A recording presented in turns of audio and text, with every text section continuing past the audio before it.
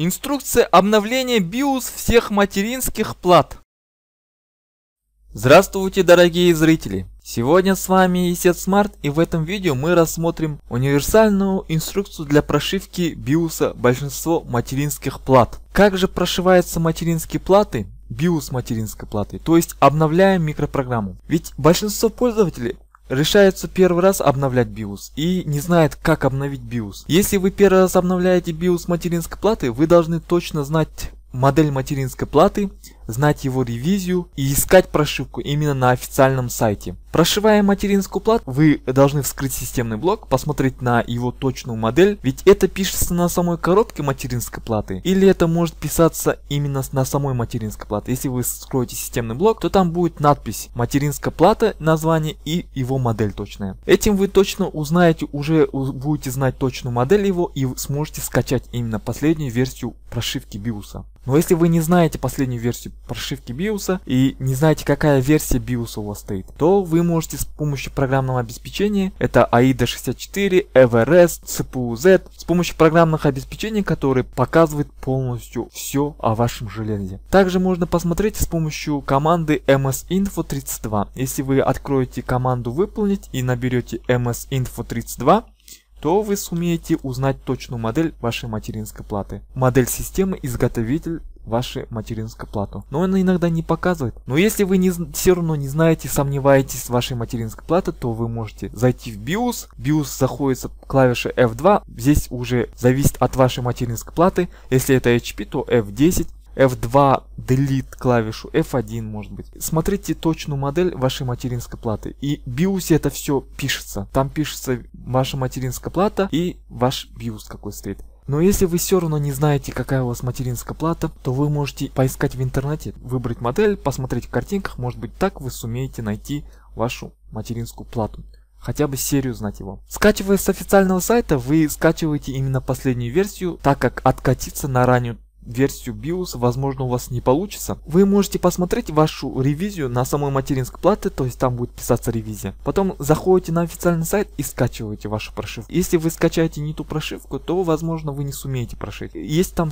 букв, буквенное обозначение. Эта буква должна, последние цифры должны быть выше, чем та, которая у вас стоит. Скорее всего, вы покупая материнскую плату, вы уже имеете старую версию BIOS. Именно производители ваших материнских плат на сайте размещают более свежие версии вашего BIOS BIOS. Для чего же обновлять, спросите вы? Обновлять BIOS нужно в том случае, если у вас что-то не работает. У вас новый процессор вы купили и вы хотите его поставить, но в свежей версии BIOS он именно определяется, это процессор. А в старой BIOS он просто не будет его видеть и ваша система, система просто не включится с этим процессором. Также и для оперативной памяти, то есть в более поздних версиях есть поддержка более новых новой оперативной памяти, которую нужно поставить. Современной, свежей версии BIOS иногда меняет графический интерфейс, то есть прошив более новую версию BIOS, вы имеете более графический интерфейс. Такое тоже бывает, то есть в старой версии нету графического интерфейса, а в новом все-таки есть. Качивая прошивку BIOS, вы должны знать его ревизию. Ведь бывает версия ревизия 1, ревизия 2, ревизия 3, ревизия 4. То есть вот это все надо учитывать и смотреть. Ведь если вы скачаете не той ревизии, то после прошивки вы может, может ваш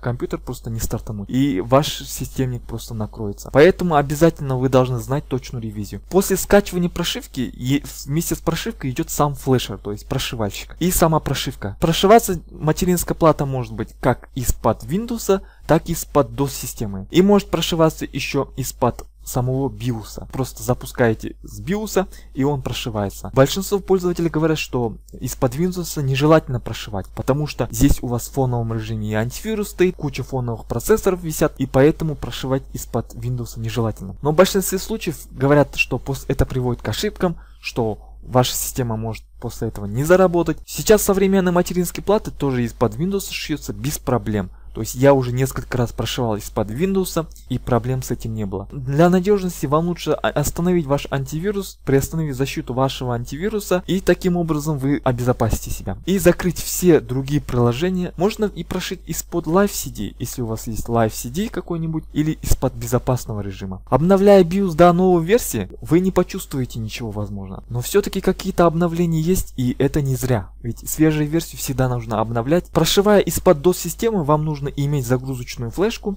то есть вам нужно создать загрузочную флешку с DOS-системой. Это касается больше старых материнских плат, где имелось Avart BIOS, AMI BIOS и Phoenix BIOS. Старые версии BIOS, где нужно было сшить именно из-под DOS-системы. Всегда скачивайте с официального сайта и используйте тот флешер прошивальщик, который идет вместе с архивом. Если у вас в архиве идет вместе с флешером тот прошивальщик, шейте именно с ним. Не используйте другие сторонние прошивальщики. Возможно вам повезет. Иногда на сайтах пишут, что другие флешеры иногда подходят. Но здесь есть риск большой, что после прошивки ваш компьютер просто не включится. Вы всегда должны знать именно прошивать тем прошивальщиком, который идет вместе с вашим архивом, который вы скачали. Прошивка весит немного, то есть совсем мало. И прошивается он довольно быстро. При этом при прошивке вы должны подключить его к источнику бесперебойного питания в случае выключения вашего света. Но если у вас свет не выключается, то можно и не подключать. Если вы уверены, что ваш свет в такое-то время не выключится. Прошивая материнскую плату из-под DOS-системы, вы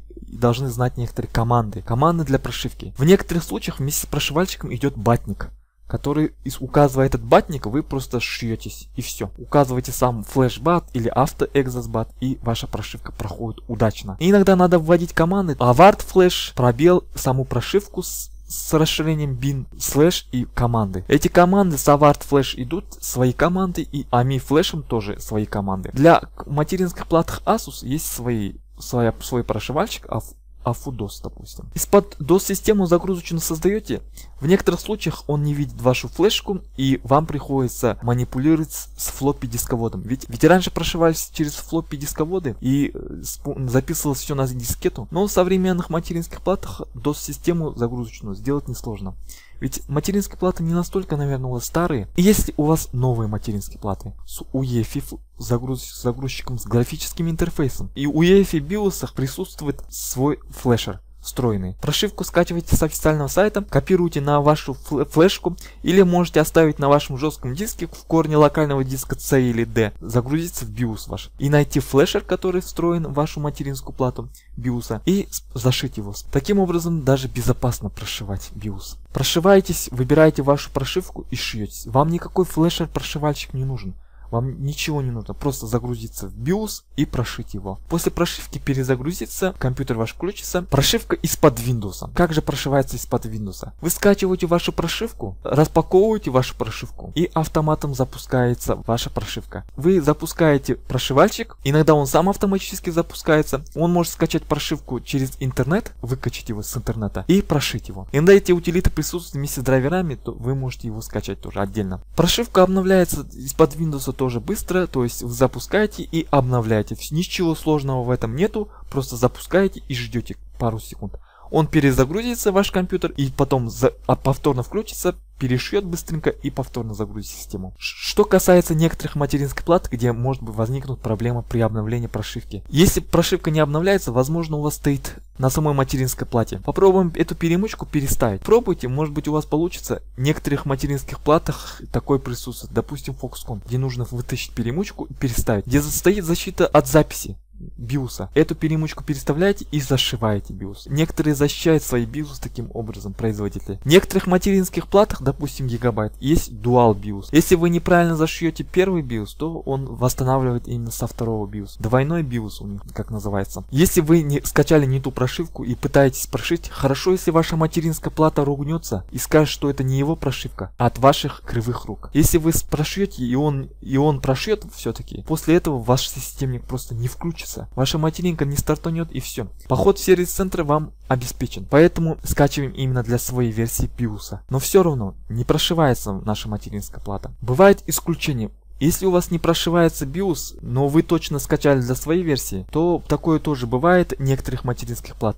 Попробуйте более раннюю версию, на одну версию ранее. Попробуйте по одной версии обновляться, то есть таким образом вы уже хоть немного, но на, на более высшую версию обновить. Что касается ноутбуков, обновление прошивки ноутбуков. Если вы будете обновлять прошивку на ваш ноутбук, то там все просто. В ноутбуках есть программное обеспечение, вы скачиваете с официального сайта точную модель BIOS, ищите на официальном сайте также ноутбука и скачивайте.